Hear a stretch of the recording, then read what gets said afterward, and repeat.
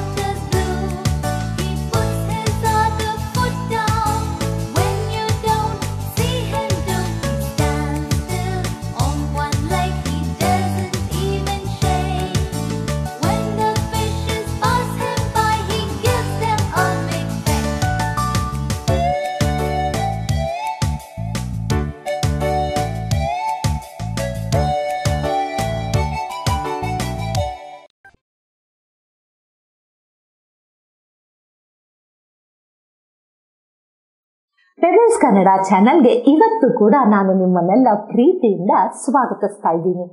ಇವತ್ತಿನ ಹಣ್ಣು ಯಾವುದು ಗೊತ್ತಾ? ದಾಳಿಂಬೆ. ಎಷ್ಟು ಚೆನ್ನಾಗಿರುತ್ತಲ್ವಾ ದಾಳಿಂಬೆ? ಪೋಣಿಸ್ದಂಗೆ ದಾಳಿಂಬೆ ಬಗ್ಗೆ ವಿಷಯಗಳನ್ನ ತಿಳ್ಕೊಳ್ಳೋದಕ್ಕೆ ಹೋಗೋಣ ಬನ್ನಿ. ಪೊಮಗ್ರನೇಟ್ ಪೊಮಗ್ರನೇಟ್ ಅಂದ್ರೆ ದಾಳಿಂಬೆ. ದಾಳಿಂಬೆ ಉಷ್ಣವಲಯದ ಸಿಹಿ ಸುವಾಸನೆಯ ಹಣ್ಣು. ಅಂದ್ರೆ ಸ್ವೀಟ್ ಫ್ರಾಗ್ರೆನ್ಸ್ ಫ್ಲೇವರ್ ಇರೋ ಹಣ್ಣು. ಇದು ಮಧ್ಯಪ್ರಾಚ್ಯಕ್ಕೆ ಸ್ಥಳೀಯವಾಗಿದೆ.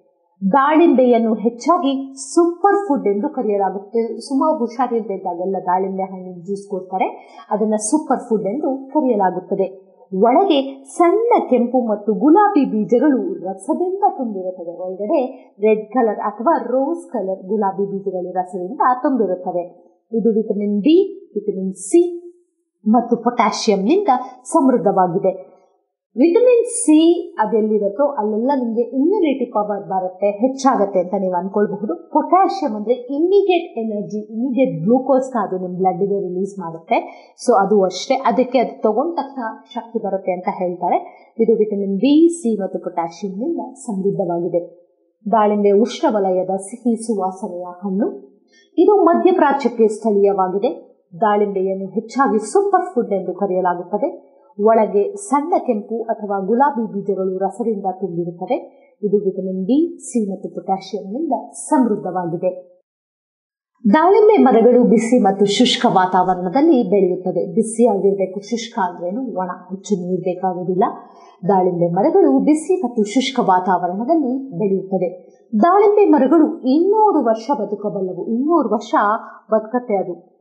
ದಾಳಿಂಬೆ ಕೆಂಪು ಬಣ್ಣದ ಗುಲಾಬಿ ಚರ್ಮವನ್ನು ಹೊಂದಿರುತ್ತೆ ನೋಡಿದೀವಲ್ಲ ರೆಡ್ ಕಲರ್ ಒಂಥರ. ರೆಡ್ ಇರತ್ತೆ ಲೈಟ್ ರೋಸ್ ಕಲರು ಇರತ್ತೆ. ಈ ಬೀಜಗಳು ದಾಳಿಂಬೆಯ ಖಾದ್ಯ ಭಾಗ ಮಾತ್ರ. ಈ ಬೀಜಗಳನ್ನ ನಾವು ತಿಂತೀವಲ್ವಾ? ಖಾದ್ಯ ಆದ್ರೆ ತಿನ್ನಬಹುದು ಅಂತ. ದಾಳಿಂಬೆಯನ್ನು ಫ್ರಿಡ್ಜ್ನಲ್ಲಿ ಎರಡು ತಿಂಗಳವರೆಗೆ ಸಂಗ್ರಹಿಸಬಹುದು. ಇನ್ನ ಎರಡು ತಿಂಗಳು ನಾವು ಫ್ರಿಡ್ಜ್ನಲ್ಲಿ ಇಡಬಹುದು. ದಾಳಿಂಬೆ ಮರಗಳು ಬಿಸಿ ಮತ್ತು ಶುಷ್ಕ ವಾತಾವರಣದಲ್ಲಿ ಬೆಳೆಯುತ್ತದೆ ದಾಳಿಂಬೆ ಮರಗಳು ಇನ್ನೂರು ವರ್ಷಗಳು ಬದುಕಬಲ್ಲವು. ದಾಳಿಂಬೆ ಕೆಂಪು ಬಣ್ಣದ ಗುಲಾಬಿ ಚರ್ಮವನ್ನು ಹೊಂದಿದೆ. ಈ ಬೀಜಗಳು ದಾಳಿಂಬೆಯ ಖಾದ್ಯ ಭಾಗ ಮಾತ್ರ. ದಾಳಿಂಬೆಯನ್ನು ಫ್ರಿಡ್ಜ್ನಲ್ಲಿ ಎರಡು ತಿಂಗಳವರೆಗೆ ಸಂಗ್ರಹಿಸಬಹುದು. ದಾಳಿಂಬೆ ಬಗ್ಗೆ ಎಷ್ಟೊಂದು ವಿಷಯ ತಿಳ್ಕೊಂಡ್ವಿ ಅಲ್ವಾ? ಈಗೇನು ರಸಪ್ರಶ್ನೆ ಸಮಯ. ದಾಳಿಂಬೆ ಬಗ್ಗೆ ರಸಪ್ರಶ್ನೆ. ದಾಳಿಂಬೆ ಮರಗಳು ಡ್ಯಾಶ್ ಮತ್ತು ಡ್ಯಾಶ್ ವಾತಾವರಣದಲ್ಲಿ ಬೆಳೆಯುತ್ತವೆ. ಬಿಸಿ ಮತ್ತು ಒಣ ಬಿಸಿ ಮತ್ತು ಒಣ ವಾತಾವರಣದಲ್ಲಿ ದಾಳಿಂಬೆ ಮರಗಳು ಎಷ್ಟು ವರ್ಷ ಬದುಕತ್ತೆ? ಇನ್ನೂರು ವರ್ಷ. ದಾಳಿಂಬೆ ಡ್ಯಾಶ್ ಬಣ್ಣದ ಡ್ಯಾಶ್ ಚರ್ಮವನ್ನು ಹೊಂದಿದೆ. ಕೆಂಪು ಬಣ್ಣದ ಗುಲಾಬಿ ಚರ್ಮ. ಕೆಂಪು ಬಣ್ಣದ ಗುಲಾಬಿ ಚರ್ಮವನ್ನು ಹೊಂದಿದೆ. ಈ ಬೀಜಗಳನ್ನು ದಾಳಿಂಬೆಯ ಖಾದ್ಯ ಭಾಗ ಅಂದ್ರೆ ತಿನ್ನಬಹುದಾದಂತಹ ಭಾಗ ಅಂತ.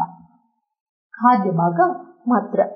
ಒಳಗೆ ಸಣ್ಣ ಕೆಂಪು ಮತ್ತು ಗುಲಾಬಿ ಬೀಜಗಳು ರಸದಿಂದ ತುಂಬಿದೆ. ಇದಕ್ಕೂ ಕೂಡ ಕೆಂಪು, ಗುಲಾಬಿ ಬರುತ್ತೆ. ದಾಳಿಂಬೆ ಮರಗಳು ಬಿಸಿ ಮತ್ತು ಒಣ ವಾತಾವರಣದಲ್ಲಿ ಬೆಳೆಯುತ್ತದೆ. ದಾಳಿಂಬೆ ಮರಗಳು ಇನ್ನೂರು ವರ್ಷಗಳು ಬದುಕಬಲ್ಲವು. ದಾಳಿಂಬೆ ಕೆಂಪು ಬಣ್ಣದ ಗುಲಾಬಿ ಚರ್ಮವನ್ನು ಹೊಂದಿದೆ ಈ ಬೀಜಗಳು ದಾಳಿಂಬೆಯ ಖಾದ್ಯ ಭಾಗ ಮಾತ್ರ ಒಳಗೆ ಸಣ್ಣ ಕೆಂಪು ಮತ್ತು ಗುಲಾಬಿ ಬೀಜಗಳು ರಸದಿಂದ ತುಂಬಿವೆ ರಸ ಪ್ರಶ್ನೆ ಆಯ್ತು ಉತ್ತರ ಕೊಟ್ರಿ ಈಗ rise time coat and inside there are hundreds of ruby-like grains which are very juicy and tasty to eat. Strawberry. The strawberry is heart-shaped Pomegranate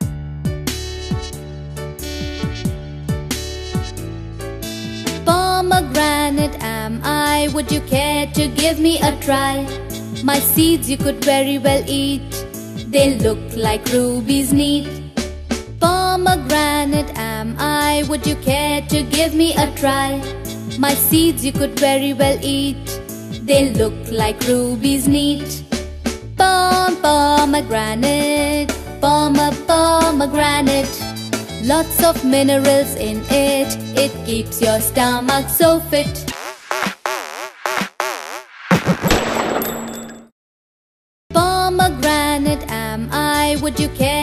Give me a try? My seeds you could very well eat, they look like rubies neat. Pomegranate am I, would you care to give me a try? My seeds you could very well eat, they look like rubies neat. Pom pomegranate, pom pomegranate. Lots of minerals in it, it keeps your stomach so fit.